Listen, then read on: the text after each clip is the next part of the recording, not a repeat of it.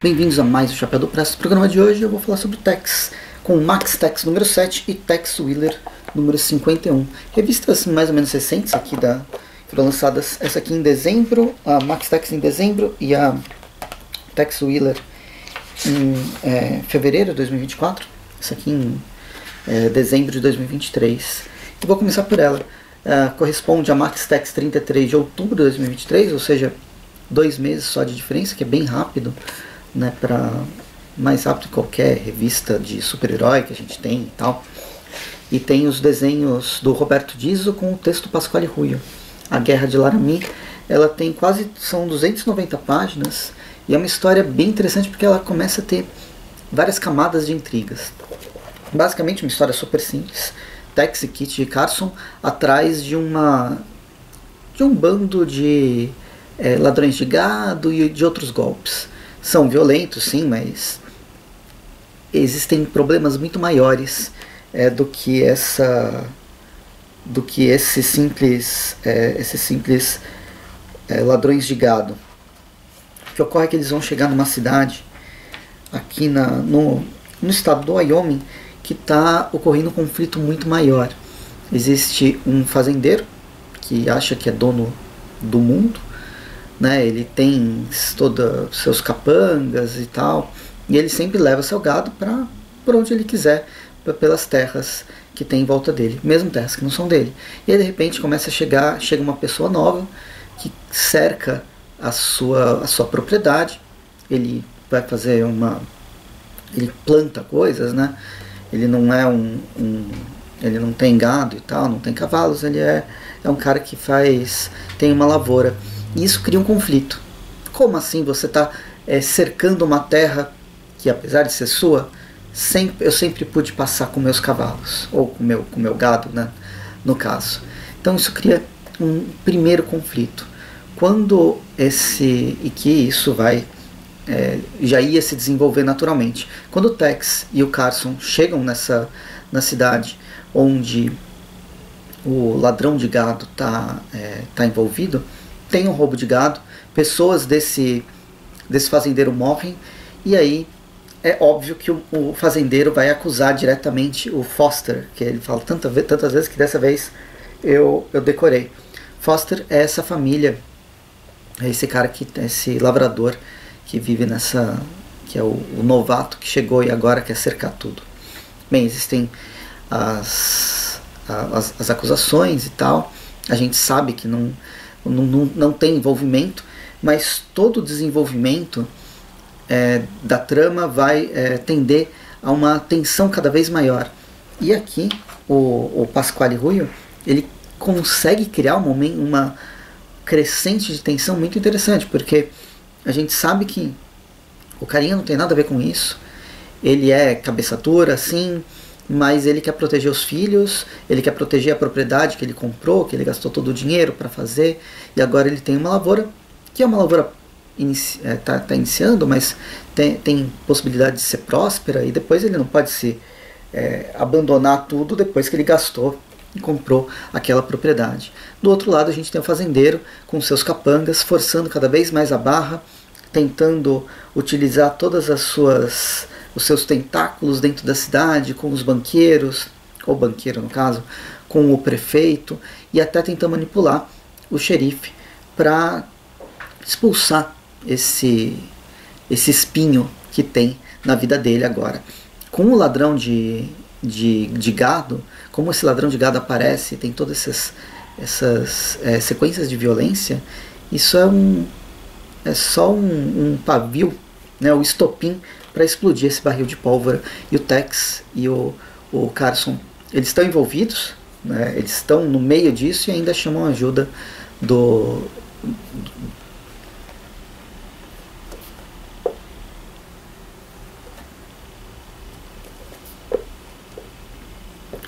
e ainda chamam a ajuda do Jack Tigre e do Kit Wheeler para tentar é para tentarem sobreviver, né? Porque tipo, se só os dois estiverem é, tiverem no meio dessa dessa guerra, vai ser bastante complicado mesmo para esses dois grandes é, pistoleiros, por assim dizer.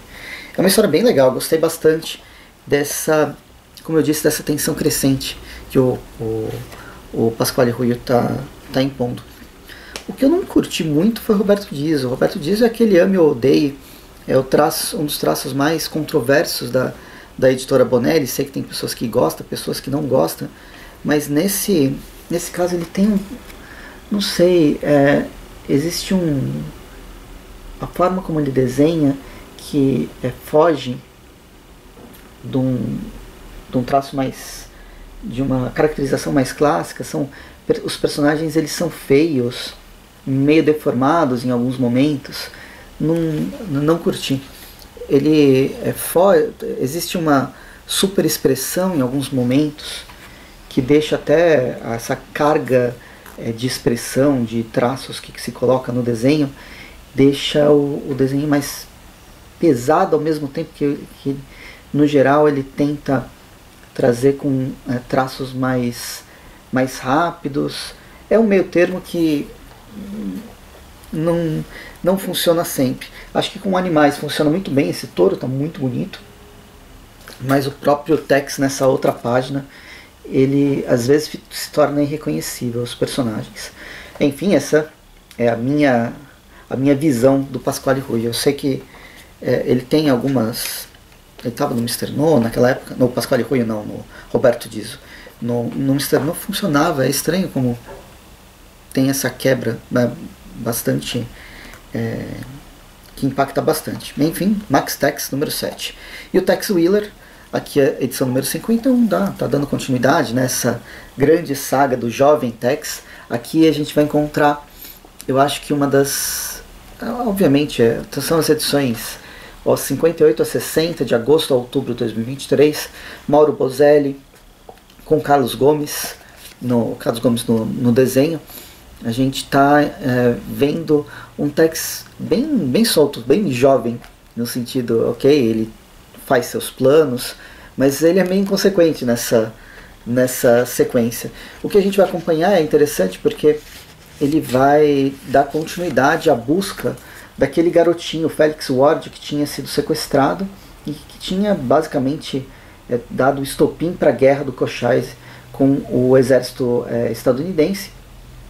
E o Tex ele tinha essa ideia de tentar é, resgatar o Félix de alguma forma. A gente viu isso nas edições passadas e aqui, depois de um arco um pouco é, independente, que foi a edição anterior da Nacional, a gente acompanha esse retorno à missão de capturar, né, de reencontrar, não é o capturar, ele foi sequestrado, o Félix, mas de reencontrar o Félix Ward. No meio disso ele vai acabar se, é, se encontrando com ex-integrantes daquela, daquela quadrilha do Santiago Querker, que é, são ah, é, é, aqueles bandidos que, que é, trabalham na, nas, na fronteira entre o Texas e o México. Então, eles fazem tanto transporte de mercadorias como roubam mercadorias para vender de um lado ou de outro. São é, bastante violentos, tudo é, envolvendo principalmente o Pedro Raza, que é um comancheiro. A história ela tem muito uma característica de gato e rato, porque o Tex ele tenta não se é, ele tá a missão dele é procurar o Félix Ward, o, o garotinho.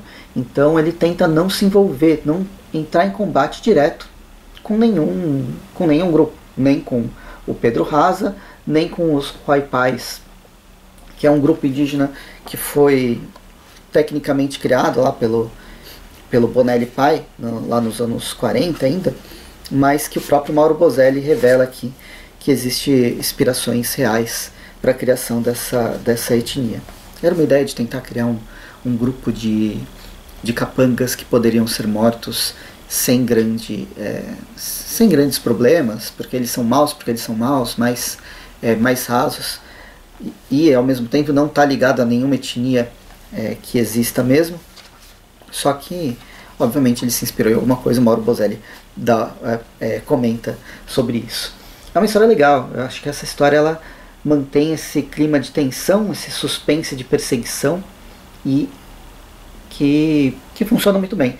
Agora, o que mais me chamou atenção, gostei ó, do, do, do, da, da, do roteiro, mas a arte foi muito bonita. O Carlos Gomes, olha só, ele toda hora ele faz esses quadros maiores, né, que dão esse contexto de paisagem de cada local que eles vão passando e que é realmente muito bonito. Aqui no meio da floresta existe todo um detalhamento é, bastante minucioso que dá vida a essas, a essas paisagens muito além de toda de toda a questão da ação que funciona muito bem, os personagens muito bem caracterizados, mas a paisagem sempre me me, me chama muito a, a atenção. Queria mostrar esses tem, tem uns, um, uns, uns quadros muito bonitos mesmo.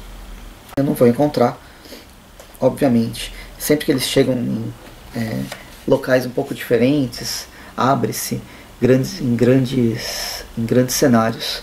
Muito bom.